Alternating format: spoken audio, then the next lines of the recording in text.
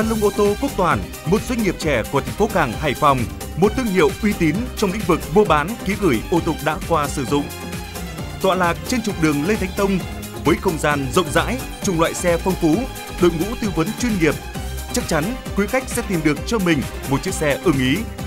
Không chỉ vậy, tại đây quý khách hàng sẽ được nhận rất nhiều ưu đãi đặc biệt. Salon ô tô Quốc Toàn luôn cam kết thực hiện tiêu chí ba nhất: giá tốt nhất, chất lượng đảm bảo nhất, giao dịch nhanh chóng nhất.